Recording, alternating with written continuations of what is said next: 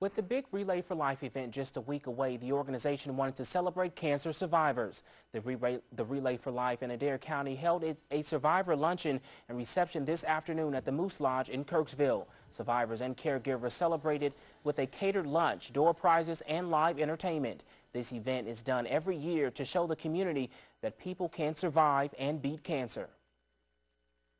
Yes, there's, there's, hope. I mean, just because you get cancer doesn't mean it's the end of the world. There's, there's, there's a community of people out here that really care about you, and, and we're, we're here to support.